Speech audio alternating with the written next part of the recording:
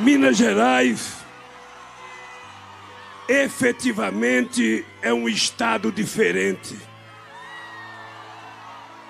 Eu agora sei porque foi aqui em Minas Gerais que surgiu o primeiro embrião da independência do Brasil.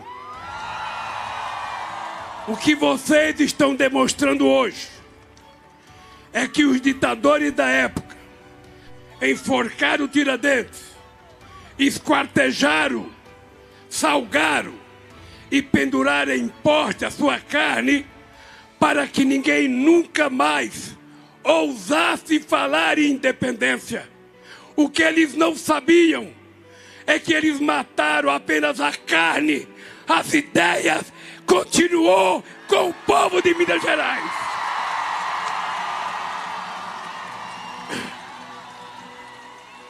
Que vocês estão demonstrando hoje é que Minas não suporta a ditadura. Minas não suporta a opressão.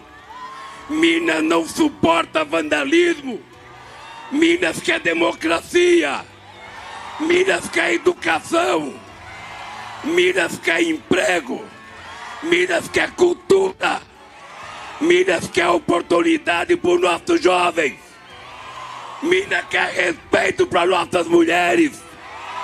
Chega de feminicídio.